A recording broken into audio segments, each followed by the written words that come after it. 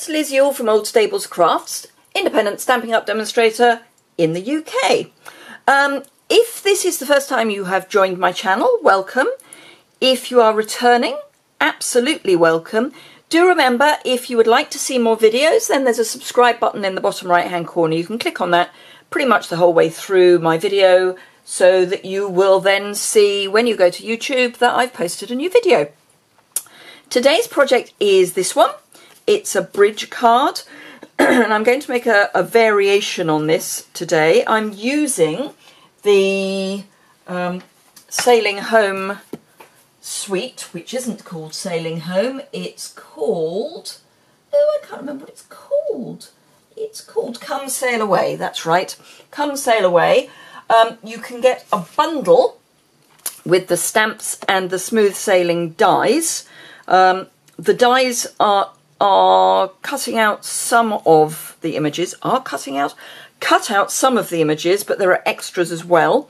So we've got uh, the anchor cuts out, um, that's the small boat, the large boat, the lighthouse. This is a lovely label, um, another label here. This is rope and a knot, and then a wheel. And then we've got two tiny little dies that make the pointer for a compass and that's what I've used for this. So, oh and this lovely um, kind of seaweed effect. So it's a really lovely set. Don't just think men, don't just think it's got to involve sailboats because this is great for all sorts of things and obviously rope is fantastic for everything and um, labels always useful. So I'm using the matching designer series paper which is the Come Sail, it, Come Sail Away paper. It's fantastic, particularly for cards for men, but there are some generic um, prints as well. So this one, for example, which is a balmy blue stripe. The colours, always on the back of the packet, balmy blue, basic black, moss, mossy meadow, night of navy, soft suede, and whisper white. I'm also um, pushing in Sahara sand because the matching baker's twine has Sahara sand in it. So I'm pushing into that, which is why I've got um, Sahara sand card here. So I said I'm going to make a, a, variation of this. The only variation is I'm not going to colour it. It's going to be monochrome and it's going to be in Sahara sand. Now the joy with this card is that although it's brilliantly dimensional, it folds flat and will then fit into one of our standard C6 envelopes. This is sized, sorry American and North, North American viewers, this is sized for Imperial uh, A4. Uh, I haven't, but I will see if I can, calculated um, a letter size. I'll try and sort it out, but I'm not holding you holding any promises on that one because it is quite a different um, card base um, and a different envelope. But you can see we've got lovely dimension um, and it's all done with little bits of card. So let's get started. I'm going to start by constructing the card base. Uh, for this, I recommend that you have either a metric scoreboard or a trimmer that will score as well as um, cut. I'm using the now retired Stampin' Up trimmer, but I know there are others available. Your basic card, and don't worry too much about this because all the dimensions will be on my website and that's linked immediately below and it's this post. So you just click on that link and you'll get all the information about this post. Um, so this is 22 and a half centimetres by 10 and a half centimetres. You could do two at once if you kept your piece of cardstock A4 because basically what you're doing is using the full width and cutting it short. So get rid of our cutting blade and the first thing we are going to do is score at three and a half, then seven. Now there is an argument for turning the card over at this point, but I'm not going to worry. 15 and a half, I'll come back to why in a minute. 15 and a half and 19. So basically you're doing three and a half and seven from each end um, and it's as simple as that. Now the piece that I cut off the length, so this piece, uh, I'm going to use for the bridges in the middle. The gap in the middle is, mm, I want to say 10 and a half centimetres, but let me just measure it. Is, oh no it's not, what am I talking about? It's eight and a half. It's a slightly shy, by which I mean it's not quite that big, eight and a half, and this is ten and a half. That's where I got my ten and a half from. So you want to score using the width, so the ten and a half width, you want to score at one centimetre and slightly over one centimetre at your two ends. It's not a vital slightly over one centimetre, but it just seems to sit flatter. You are also going to need a strip of cardstock, which I've cut, I've stuck some of the ribbon, uh, sorry, the rope um, designer series paper on, and then just stuck it on and then fussy cut. I'm not going to put you through the agony of the fussy cutting because I think watching me fussy cut that is, there's probably more things you can do with your day. Um, so this is where I say in an ideal world, I would do these the other way up, so these two inner ones, because I'm one of those people that likes to fold towards a mountain, not a valley.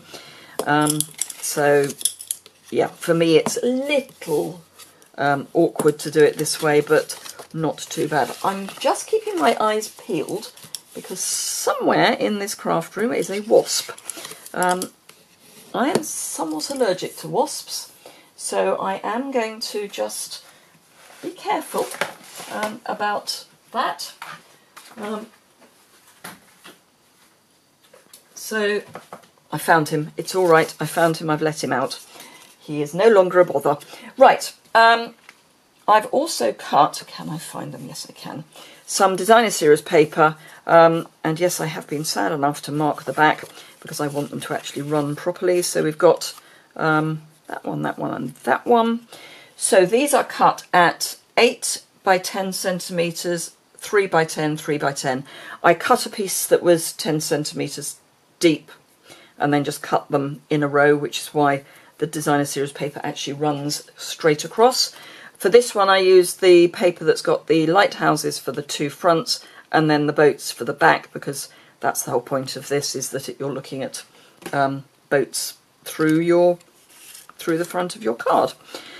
But for this one, as I say, I'm just going to go for monotone and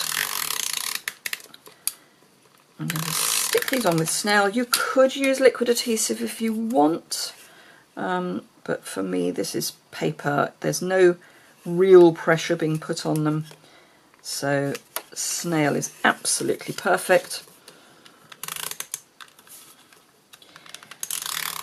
Now do remember that while we have new bundles in the catalogue, um, bundles only actually run for the for the life of a catalogue. So for the annual catalogue they run for the whole year, uh, but we've got the autumn winter, um, or some people call it the holiday catalogue, coming out in September, and any bundles in that will only last through until the beginning of January. Um, even if they carry over, they won't be a bundle price. So do bear that in mind. And on the subject of the autumn winter catalogue, do remember that um, if you want to order from it early, uh, it goes live on the 4th of September. If you want to order from it early, you can do that by joining my team um, and you can put autumn winter catalogue items into your starter kit. So there is that option. If that is something you want to take advantage of, do let me know and I can let you know how you do that because it's slightly different. Okay, so our bridge is the next thing we want to add on. Um, and our bridge needs to be the width of this, this and this without opening it up. So it's the easiest way to calculate it is to fold it flat.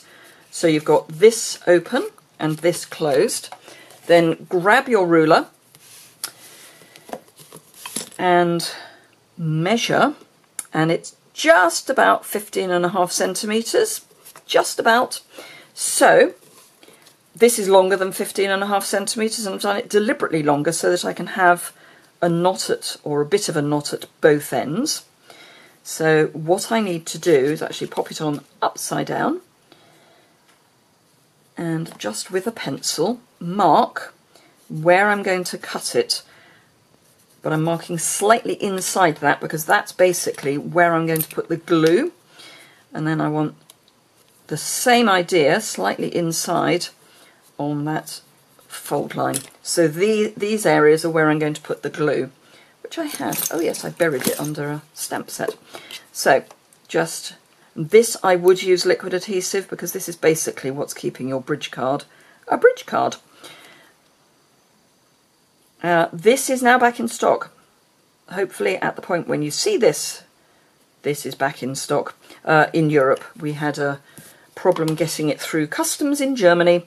Nothing to do with Brexit, just to do with the German customs changing some of their rules. Um, right, so I'm turning this upside down just so that I can see my marks.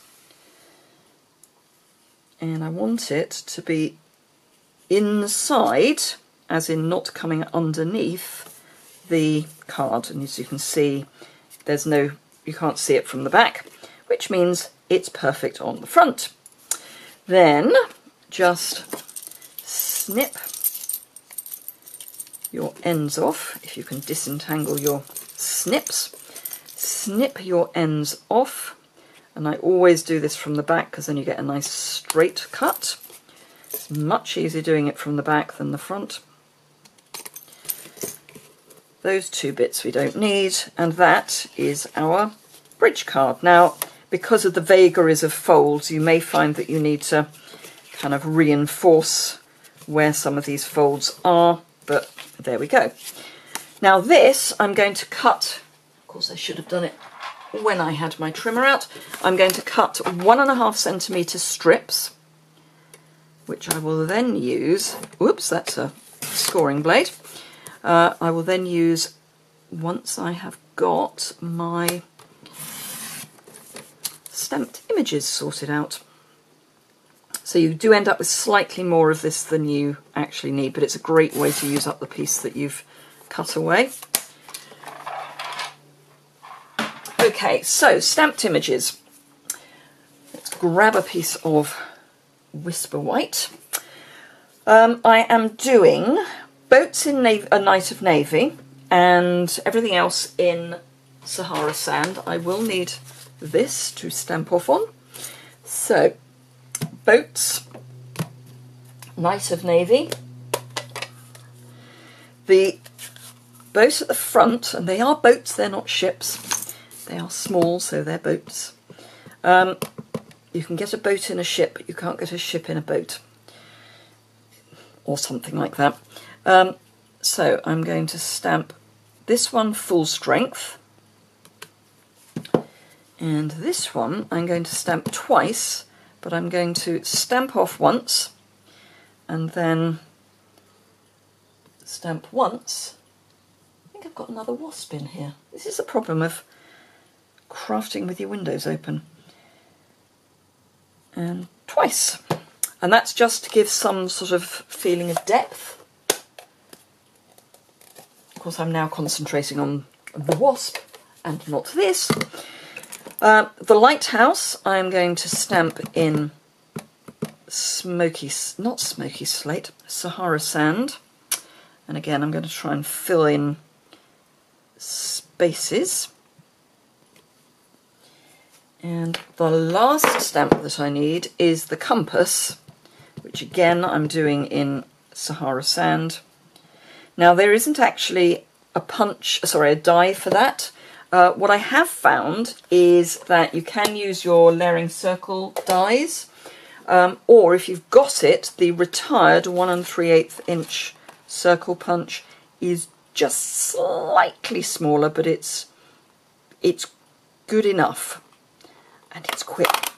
Um, the one and a half is too big, but the one and three eighths, you get a tiny little bit around the edge. So if you've still got that, then that would be a perfect thing to use. Otherwise, use one of your layering circle dies. Um, so I've told you already we've got um, dies for the large boat, the small boat, and the lighthouse. I also need this and the two um, pointers. But by the magic of YouTube, in true Blue Peter fashion, here are some I have prepared earlier. Now, I've I've die cut this, but I haven't poked out the final piece. There is this actually comes out, so you get a really nice die. Um, I've cut the larger of the two pointers in Night of Navy, and it's literally a scrap. The smaller one in Sahara Sand, the label in Sahara Sand, etc. So, putting it all together, uh, first thing I need is to fold my the ends of my bits of Sahara Sand. Now, some of these I'm going to put one way round and some I'm going to put another way round. Well, sorry about that. The battery ran out. It was fine at the beginning of my recording and never mind. Okay, so we were just folding these. Now, it's always worth checking that they are going to be about the right size. I don't mind a little bit of bowing. That's possibly a bit too much. So what I would then do is just cheat them a little. And as I say, this is the vagaries of scoring because the um, when you score you can't get an exact measurement um, or exact enough for things like this. So you can just cheat them a tiny weeny bit just by kind of pushing them in and then hopefully that will be a better fit. Mm, a bit better. Okay, so let's just make sure I sort out the others as well. So that one's definitely cheated.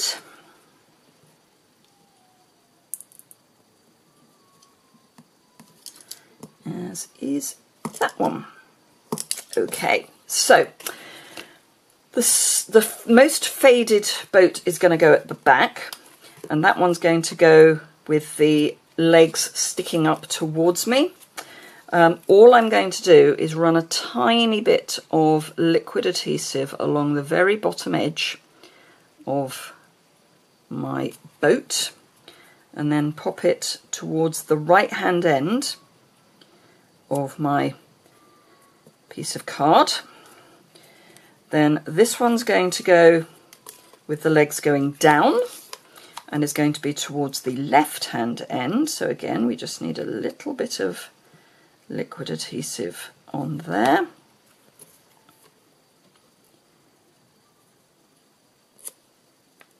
And then the larger one, again, with the legs pointing down, we're going to pop in the middle.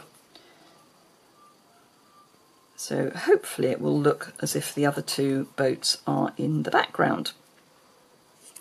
Well, I mean, they are in the background, but it will look as if they are behind this. Oh, I don't know why I'm putting that away because I still need it. Right, so I work from the back forwards because otherwise you're trying to fiddle in tiny spaces. So a small amount of liquid adhesive and I really do mean you only need a small amount on both ends. And then you want to pop it in so that it's kind of at the bottom and slightly away from the back. So you want it almost at the bottom. And then the easiest way to get it in the right position is to make sure that's square, always a plan, and then just fold your card and it will automatically pick up the other side in the right place, which is always good to know. Right, so our next one, we're going to do exactly the same thing, but our legs, if you remember, are going backwards. So small amount of liquid adhesive on each end. And this one, we're going to use the full depth of the legs and I'm going to pop it inside the one that we've already stuck down. So again, we can get that one in its right place, straight, hold that one down while we press the card flat, which means the other one will automatically be in the right place. And then same with this last one. And again, we're going legs down. And small amount of liquid adhesive. And again, we'll come in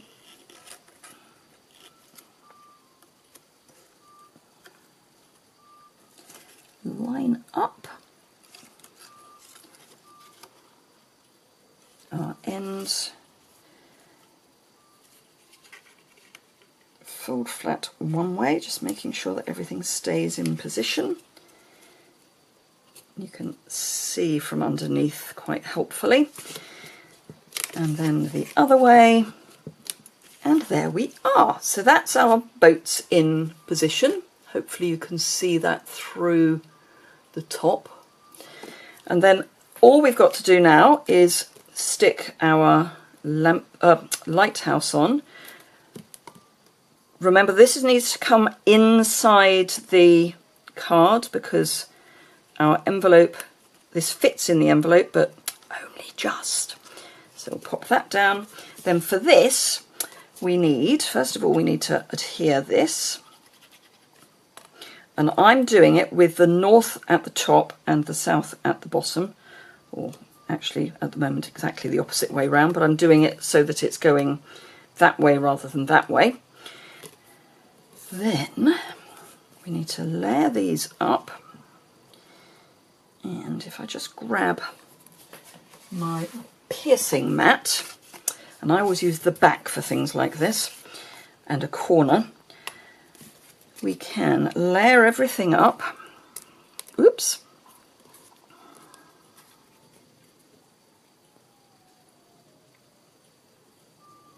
In fact, let me just stick this on first. I don't quite like getting things done in the right order, is there?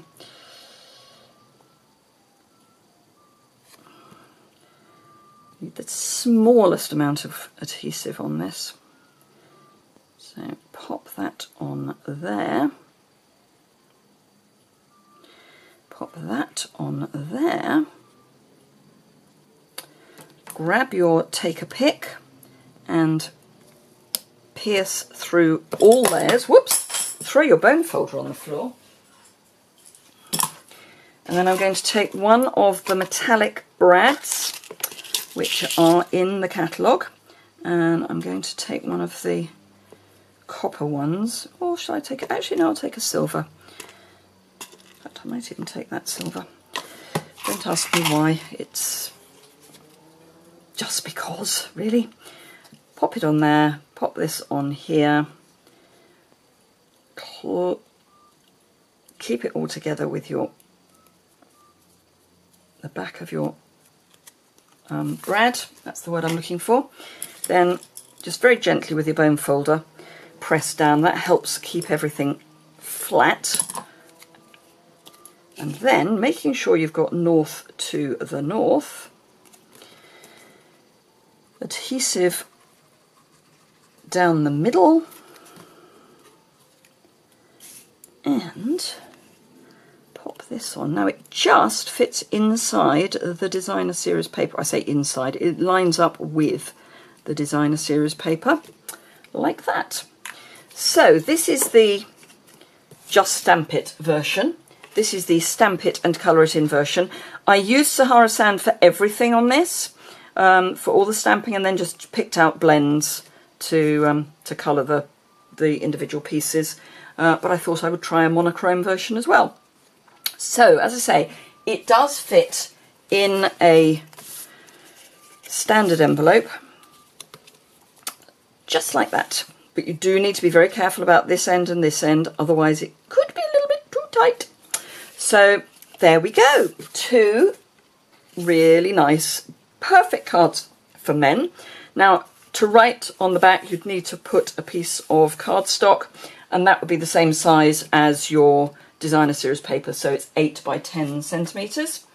Um, so that will give you somewhere to write, and you can obviously stamp a happy birthday or whatever it is so thank you very much indeed for watching. Sorry about the break in the middle. I would like to say how long this video is, but I have no idea now. Too long, probably. Um, however, thank you very much for watching. As I said earlier, if you would like to subscribe, it's sort of there. Um, if you've enjoyed it, please give it a thumbs up. Please leave a comment if you've got any questions. Um, if there's anything in particular you would like me to do a video on, I'm very happy to take requests. It means I don't have to just think of everything myself. Um, so it would be a great help if anyone had any requests. So that's it from me. Do just remember that if you're in the UK, you can shop with me from the link below or on my website.